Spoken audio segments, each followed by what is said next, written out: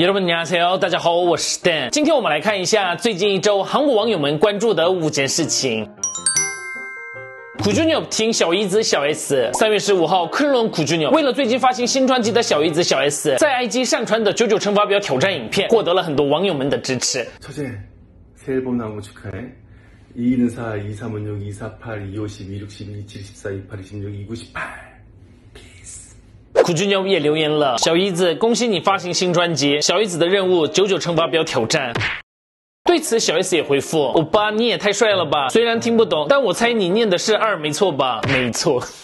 为了小姨子做了挑战，苦君鸟真的很帅。然后这位小姨子也很可爱。听说因为孩子们不来韩国，会在台湾住。如果来韩国的话，应该能出演很多夫妇综艺吧？好可惜，请出演《同床异梦》吧。《同床异梦》是之前曲家阳与小光出演的韩综，好想赶紧看到隔离结束后两个人见面的样子。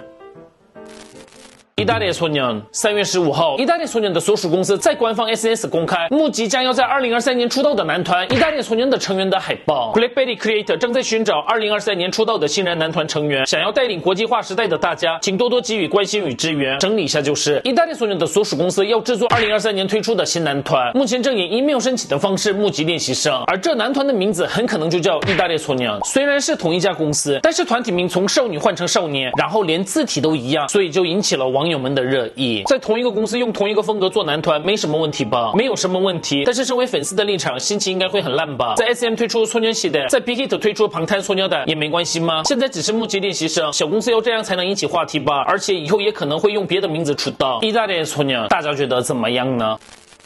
处理艺人酸言的律师，一位处理艺人酸言提购的律师上传的 IG 贴文引起了网友们的关注。这是收集了对于一个艺人的酸言打印出来的分量。大家想象一下，这种感情垃圾每天都泼在身上的话会怎么样？留酸言的人可能会说，就这么一个酸言又怎么了？但是当事人要忍受几千几万个不知道什么时候会停止的垃圾。我们来看一下网友们的留言。最恶心的是，酸民们巧妙的在自我合理化，他人品不好，所以我留酸言也没关系。这种逻辑，你们的酸言才是人品败类，还在说谁呢？看我家爱豆。的酸盐也是，他们比我还要先找影片看，然后再留酸盐，真的是神经病。就算留酸盐，你们的臭水沟人生也不会好转的，算命们，真的希望都能受到处罚。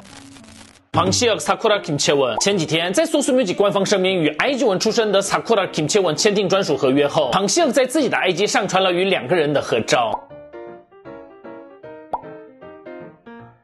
庞希恩很像是来握手会的宅男一样，可可。萨库拉的颜值身材都疯了，谢谢你回来，真的。但是不应该支持日本右翼吧？希望能赶紧出道，当场拿出预告片来。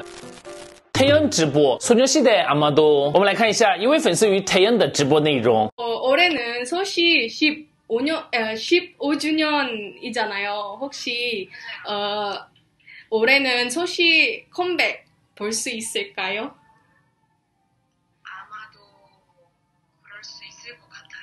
아, 정말요? 네, 아마도. 어, 기대할게요. 因为田不是那种喜欢说空话的性格，所以这个发言让很多网友们都非常期待，百分之百会有的。可可，田不会说空话，疯了，应该是八月吧？因为这句话，剩下的五个月可以幸福的生活了。是外国粉丝吗？发音真好。嗯，苏喜十五周年，岁月真的好快，哇，真的好快。 好的，今天的影片就到这里，我们下支影片再见，拜拜。